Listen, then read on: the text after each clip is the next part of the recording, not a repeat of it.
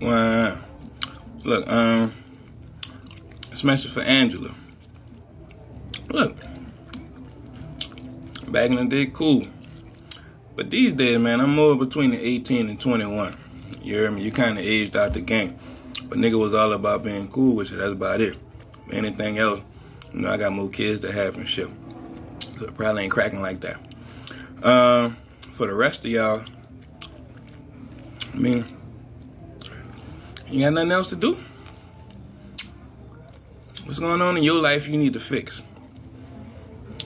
Just think about it. What's going on in your life that you need to fix in your shit?